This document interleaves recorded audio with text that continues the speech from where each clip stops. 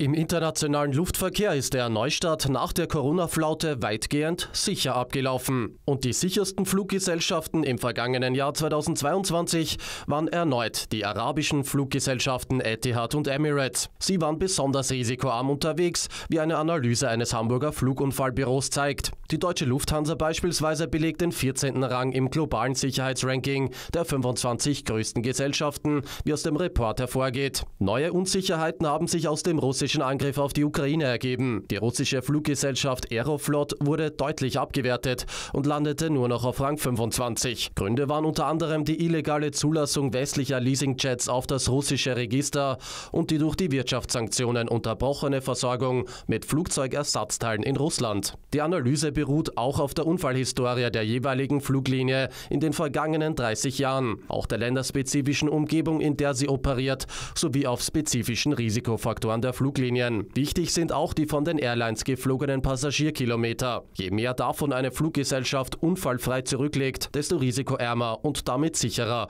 gilt sie in diesem Ranking.